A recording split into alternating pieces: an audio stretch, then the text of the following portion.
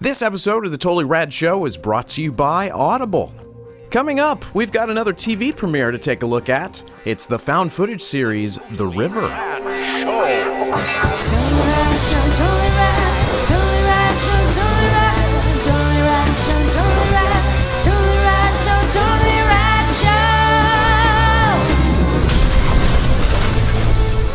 Everybody, and welcome to the Totally Rad Show. We've got a great week for you. Today, we're going to be talking about the new TV series The River from uh, Oren, what's the guy's name? Oren, Oren Peli? Pe- Peli, who Yeah, uh, brought us the, uh, the uh, uh, paranormal activities. And then tomorrow is the Valentine's. Hmm. So we're gonna woo. We are attempting to woo through cooking. Yep, Woo pea pies. Woo!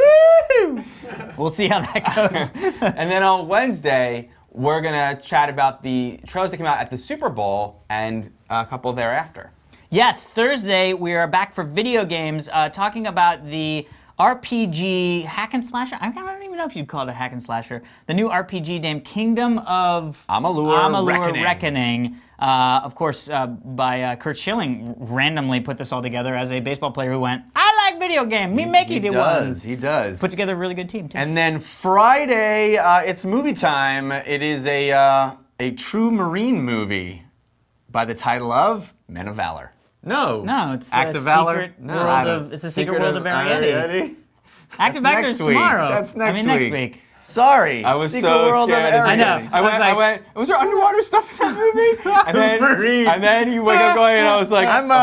I'm crossing time streams. Yes. Next week we're talking Next about week that. you'll hear him probably this say is, that same um, Miyazaki's uh, uh, uh, Ghibli. Studio Ghibli Studio movie. Ghibli. Yep. Correct, animated Mundo. film. Yeah. Uh, amazing background, by the way, Yeah, this is from obviously starring Dan as Turbocharged. as Turbocharged TC. uh, from a Twitter question, if you do not know what we're talking about, you need to go back and catch up on some TRSs because Dan gloriously revealed that his new nickname is Turbocharged. Not new nickname. old His- nickname his that has old been re-nickname resurrected. Has been resurrected. And of course, uh, Jake Mesrick sent this in. Wesrick, Jake Wesrick. Wesrick. That's what I said. Jake, Jake is That's what I said. Yeah. It's, uh, That's what I said. And, awesome, uh, dude. You gotta read. all- You gotta read all the details because really great. it's it's directed by people and starring people. And I love it. uh, I think if I started this people. movie, I would have my last name be Wilson. So it was Dan Trachtenberg as Turbocharged Wilson. Did you see Alex's boy. Manana Productions? Oh, and amazing. uh, what was the other cool thing that we saw? I mean, we could just Uh, look right at it. Yeah, it's a film by Quentin Tarantino. Yeah, Um, yeah. pretty great. Amazing. Yeah. All right, well, let's do some more amazingness.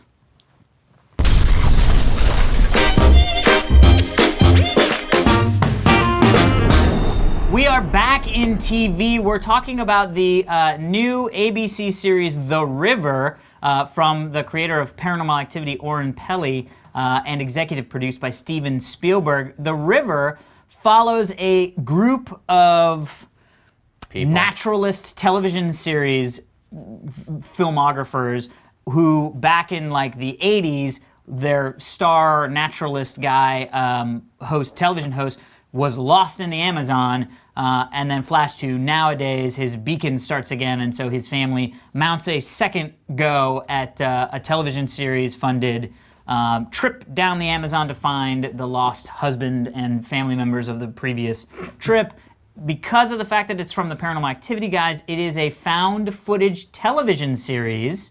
Very interesting concepts.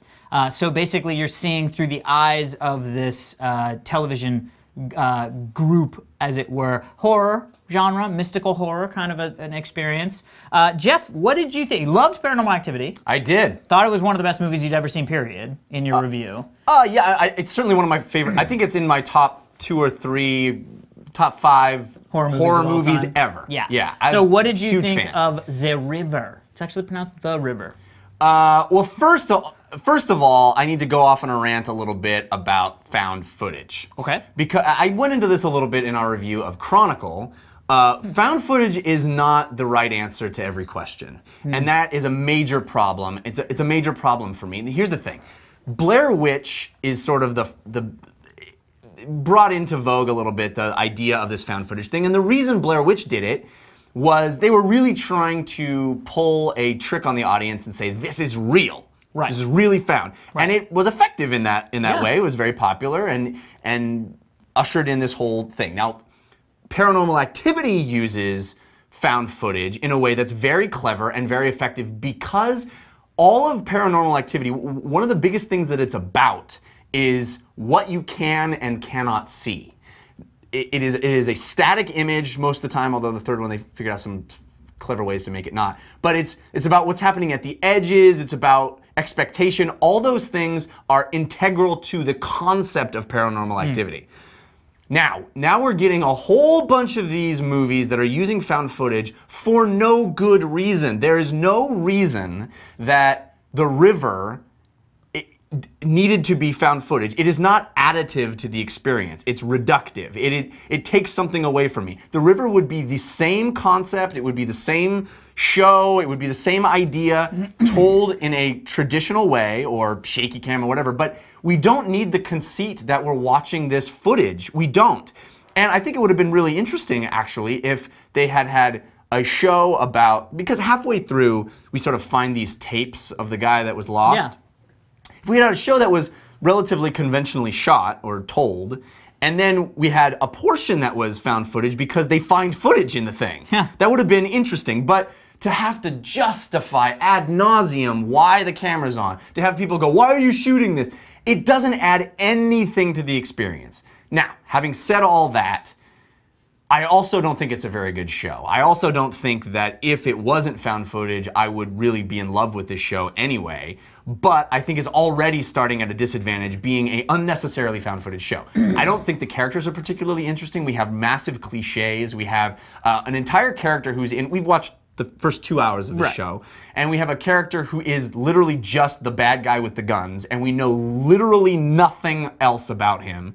We have the cliched like foreign language speaking girl who's mystical for some reason. We have there's all these we have the cliched like black camera guy who I don't want to deal with this shit. You know, it's like it is there we know all we know about Like is every, this family. I know what you're saying, but every cliche you just said is not a cliche. Everything, every character you just said, like, you know, the typical girl who knows mystical stuff, who speaks a foreign language. Like, what? What is that? What, what cliche is that? I You feel like read the and the black book? cameraman. I feel What? like that's always mm-hmm. that I, I was I feel like that's a, a thing that comes up a lot is like this alien girl or alien person or young child who is sort of different and weird and then that person can communicate with the I don't mean to harp on that. I just it was funny that and then every everything you said after that was like, that, whoa, that's a crazy thing that I don't. Yeah. The black. I don't know. I, you just, I didn't really So enjoy didn't the like show the- very the much show? at all. I don't think the characters are particularly interesting. We know we know something about this family, but we don't know anything about any of the. All of them are bland and uninteresting Yeah. people, and what happens is so. It, it seems so contrived and Hmm. uninteresting to me. There was some really interesting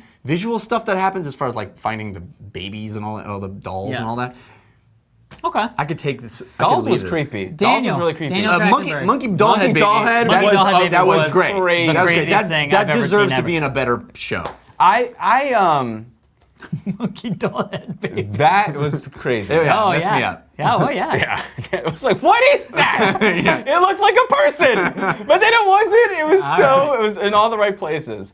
Um, I I didn't like the river that much, but it, it- it is it is such an awesome premise, and it is such an awesome idea. Um, and there were so many cool ideas in it, and it was so I. While I agree with all with Jeff's overall feeling, I don't love. Well, actually, I can, no. I mean, I hear what you're saying, Jeff, but I I've loved most, not all, but most of the found footage movies I've seen, including um, Paranormal Activities, but also some some others, and. I uh, and I, and I think there could have been a good found footage TV show. That's why I was so excited about the show. Really, really excited. And and then when opened on like the like crocodile hunter guy, you know, then I was like, oh my god, this is so what a cool way into this. Um, but the weird thing is the show isn't made. This is the thing, was Jeff, you could be right. This could have been shot like Friday Night Lights, like a documentary style show, and it could have been just exciting. Or it could have been made like a found footage movie. Unfortunately, I don't think the the structure of television making allows for that. So what we have is a regular TV show that is has the the costume of a found footage um, style of cinematography, I hmm. guess, because it's hmm. not if what, what makes a lot of the found footage movies so delicious is everything so feels so extremely authentic. You Yeah. know, when Right. people are really real, and there's a sense of humor to the guy holding the camera, and the and, the, and it's all improv, so everything just feels so much more authentic. But You're on right. this show, You're right. That's the Yeah. problem. This doesn't feel like the not, Amazing Race because they're not- It should feel like the Amazing right, Race. Right, right. Or yeah, right, exactly. It's just it's just you know portrayed with security cameras and thing and angles that are that theoretically could have been captured, but none of them heighten the tension. None of, none of hmm. them bring anything to the storytelling. And what they really do is make us- the the scripts and the performances feel so much more false because they're not photographed in an immersive. They're, it's not photographed in a way that it add, adds and, and gels and works with the performances. It, it Yeah. works against it, which is something that Jeff was saying too. It uh, Did so- you like the? you- no, I didn't end up liking the show Yeah. because it, it was so. It, it just all it was not executed. Yeah. Well. Well, but, the, I- but there, there's so much. There, it's unfortunate because there's a lot of great ideas in it. Yeah, yeah. And it's hard to pinpoint what went wrong because I don't know if the performances are not great. I, I want, because it might be of, of how they were filmed. That you know, it's, I don't. Yeah. I don't know. I'll tell you what's wrong. I know the answer. Yeah. I, I've, I've thought about this. One, I really liked The River. I'm going to continue watching The River. I ah. find it very Surprised. fun and scary. Now, I'm not a big found footage person, so, and I think there are a lot of, I have the exact same issues that you have, and I think what would have saved this show, as far as people not being able to get through the found footaginess of it, which is shoot it like a regular television show that happens to be following a camera crew and team on this adventure, totally shot normal, and intersperse every once in a while with the footage from the cameras. So that you get some of those because some of those you know shots in the security foot security footage like when the first monster comes out that's awesome you know what i mean? The weird baby doll shots that's awesome you know what i mean like those work where it doesn't work is when you're literally seeing a shot that could be straight out of lost gorgeous color, you know, gorgeous lighting design, everything, same frame, and then all of a sudden they have to do this. Oh, right, remember, it's found footage. Yeah. That stuff pulls you out so much, but it's also not necessary. The last, the literally the last line of the first episode is, "You know, there's a camera right there." yeah, I'm right. like, wow. That's the stuff where I think this it, it starts to kind of fall apart. Now, now that said, even because even with through that, I was able to really have a good time, and I'm, I'm very interested into the sort of mythology of what's happening, and it's a very unique, in, in my opinion, very unique kind of experience to be had of this sort of like this adventure through the Amazon and with mystical things happening. But because there's mystical things happening, whereas you know with Lost, it's sort of like, oh, that's weird, that shouldn't be there. But with this, it's like, well, we know that shouldn't be there, but we also know that there's a whole bunch of cool magic stuff happening, so it's sort of cool. Um, but I really think that they could have shot this like a regular television show and include some of the footage from the security cameras, some from the cameras, the, the camera guy dropping the camera. You can add that little stuff in, and we wouldn't need to have that you know, for me, the horror, the thing that I hate the most of this found footage thing is, in in 2012, this camera crew came together. Here's the footage that was found, and it's like, I don't need that. Does it say that? Yeah, oh yeah, the big top of the show. Yeah, and I don't need that. And I'm worried that every week it's going to start with, remember, it's a found footage show. And that could wear on me because I think I, I kind of forgave it a lot because I was really interested in what was happening in this this sort of supernaturalness. And there was some genuine creepy crap. I mean, the, the doll tree was like, I'm I don't want to be at the doll tree. I think the thing that Lost really got right, and it got a lot of things wrong, but I think the thing that it really got right is that it, it realized that yes, there's going to be crazy stuff happening, but in order for us to to really latch onto it, we need to care about these people and know who they are, Yeah. and have some kind of way into their stories. And in the first two hours of this show, I didn't care about anybody, and I didn't really get a lot of information about anyone outside the mother and the son hmm. and the father. You know, like I. It it needs it needs to have bet- I more would meat bet on the that's bone. the same as the pilot of Lost. I think that's all there on the page. Yeah. The pilot of Lost, you know about. You don't. You don't get everyone's backstory in the pilot, do you? That's the whole first No, season but- is their backstory. right. Exactly. Yeah, but I, I- I feel like I think it's I'd just have how to it- the pilot. But I feel like Yeah. there's enough interesting things and it's like, oh, I've never seen that. Well, oh, that, ta- that guy woke up and he he was in a wheelchair and now he can walk and That that's was, crazy. That was and, six episodes in, at least, Yeah, that maybe was, seven. It was, I think it was the fourth episode that he is. That That's- he that in was- no, don't we, we see Locke and his foot twitches and he freaks out in the first episode. yeah, but you have never no know. idea what that is. We That's just just think some he's guy like- going, Yeah. "Oh, We're my not legs talking are about working." Lost, but- right. You So know, I- obviously, you guys I are think, not I gonna. think, I, I, let me just add to that because there's it, Lost as soap opera. I mean, I guess this does. Too, here's the thing: it's all there. It just isn't coming together for us. But because It did for Lost me has, though. I did. I did. I, what I I'm said for gonna us. keep Yeah, yeah, watching. yeah. When you said for us and then did this like did a circle, circle. thing, That I'm included, saying- that included that Alex. me. Yeah. I'm right here, Um, guys. I'm right he's- here. He's, he's he's in in, that direction. So we'll check back in uh, with river with the river as it progresses. At least I will. I don't know about you guys, but we'll we shall see. The river ABC. All right, everybody, be sure to stick around. We're going to be answering one of your Twitter questions right after this. But first, we want to thank our sponsors, Jeff Cannata. Audible.com is a great place to go. That's what I I've really, really, really dig the Audible.com. It's uh, it's pretty much the leading, the world's provider of uh, audiobooks, Mm. spoken word entertainment. That means you can listen to a book rather than being able to, having to read it. Uh, you can have it spoken to you into your ear holes, so you can experience the joy of reading for pleasure while doing other things. Oh, Dan is still awake, That's, everybody. re- that's reading. That's reading. That's reading, but if you But had ear holes- audiobooks- if Actually, only I was he'd be like this.